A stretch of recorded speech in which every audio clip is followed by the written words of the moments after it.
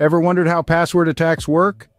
Well, let's start from the beginning. A password attack is essentially an attempt to crack or otherwise bypass a password to gain unauthorized access to a system or account.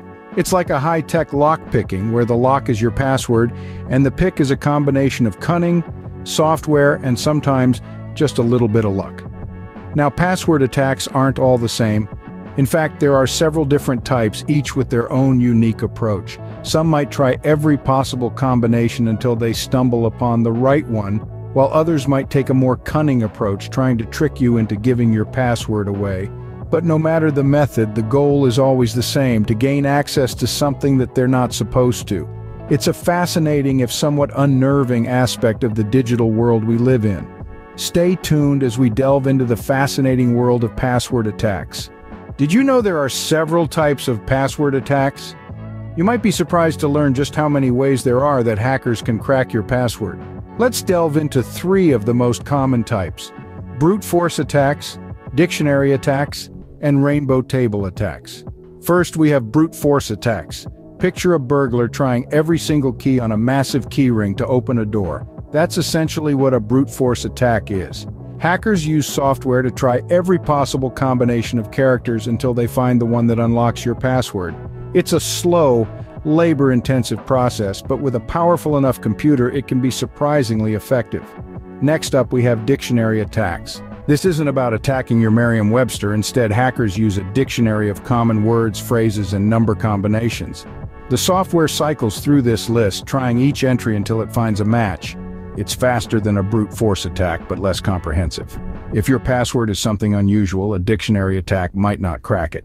Finally, we have the rainbow table attack. Now this isn't about hackers throwing colorful parties. A rainbow table is a pre-computed table for reversing cryptographic hash functions. In simpler terms, it's a cheat sheet that hackers can use to quickly find a password without having to compute every possibility. It's like having the answers to a test before you even sit down, so we have brute force attacks, which are like trying every key on a keyring. We have dictionary attacks, which are like trying only the most common keys. And we have rainbow table attacks, which are like having a cheat sheet for the test. Each method has its strengths and weaknesses, and hackers will choose their approach based on a variety of factors. Now that we know the different types of password attacks, how do they actually work? But that's a topic for our next scene. Stay tuned to learn more about the inner workings of these password cracking methods. It's time to unravel the mystery of how password attacks work.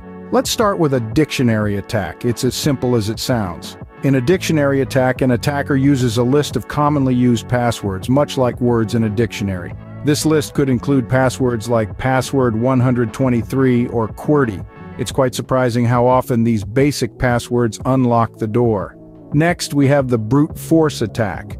This is the digital equivalent of trying every possible key on a keychain. The attacker systematically checks all possible passwords until the correct one is found. It sounds tedious, doesn't it? But with the help of powerful computers, this process can be surprisingly fast, especially if the password is short or simple. Now, on to the more sophisticated method, the rainbow table attack. Here, attackers use a table of pre-computed hash values for potential passwords. Think of it as a cheat sheet that pairs potential passwords with their corresponding hash values. It's a shortcut that saves the attacker from having to calculate the hash of each guess, speeding up the process significantly. And lastly, we have credential stuffing. This is when attackers use previously breached data from one site on other sites, banking on the fact that many of us reuse passwords. It's like using the same key for your house, car, and office. Behind all of these attacks are software tools that automate the process, enabling attackers to test millions of passwords in a blink of an eye. And yes, even complex passwords can be cracked with enough time and computational power. It's a constant game of cat and mouse between cybersecurity professionals and these attackers. By now, you might be wondering how can you protect yourself from these attacks? Protection from password attacks is crucial in today's digital age. Even as we dive deeper into the world of digital connectivity, ensuring the safety of our personal and professional information remains paramount. So how can we shield ourselves from password attacks? The first step is to create strong, unique passwords. A strong password is like a sturdy lock on the door of your digital life. It should be a mix of uppercase and lowercase letters, numbers, and special characters. The longer, the better. And remember, each of your accounts deserves a unique password. Reusing passwords is like using the same key for every door. If one gets compromised, they all do. Next, enable two-factor authentication wherever possible. This adds an extra layer of security requiring not only your password, but also a second piece of information that only you have access to. It's like having a security guard in addition to your sturdy lock.